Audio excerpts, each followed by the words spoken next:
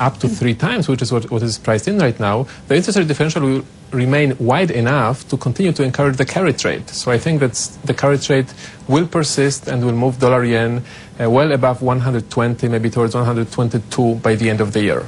Darius, this is Christine. Well, give me your take on what you make of Fukui's comments. Did he give us any clues at all about interest rates?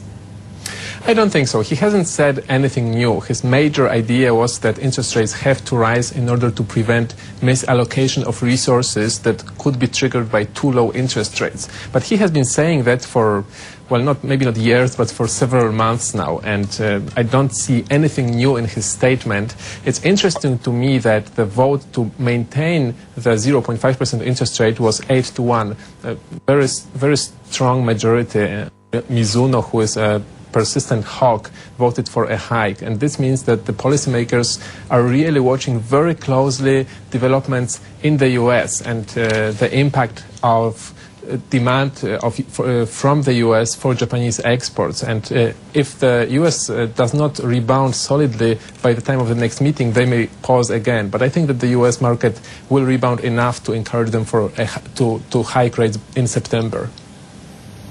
Why is that, Darius? It's Michelle here in the United States. Are you getting any sense that this credit market turmoil is finally calming down?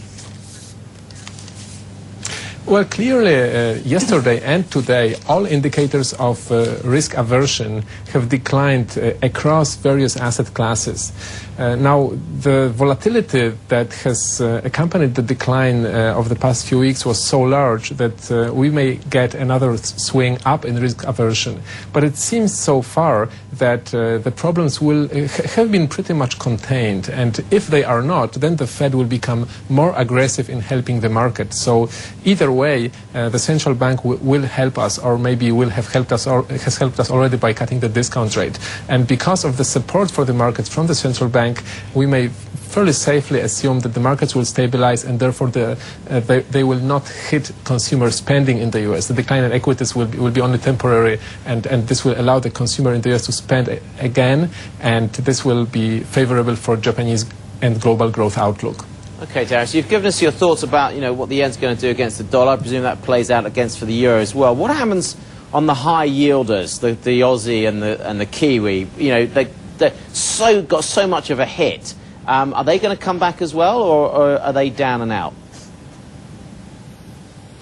I think they will come back. Uh, the New Zealand dollar uh, lost uh, over 18% against the US dollar over the past several weeks. The, the Aussie lost 12%. Uh, the Aussie has recovered around 40% of that loss, and the Kiwi has recovered 30% of that loss. So um, we have had quite a rebound, and uh, we believe that the rebound will be particularly strong in case of the Aussie because there is at least one more rate hike ahead of us this year in Australia. Uh, so our target for the end of the year is 0.85. Now there is no further rate hikes uh, from from the uh, uh, from the New Zealand central bank, but the recovery will continue purely because of the carry trade, and we are seeing a New Zealand dollar at 0.75 by the by the by the end of the year. Darius, thanks very much indeed for that. Darius Kowalczyk, Chief Investment Strategist at SJS Seymour.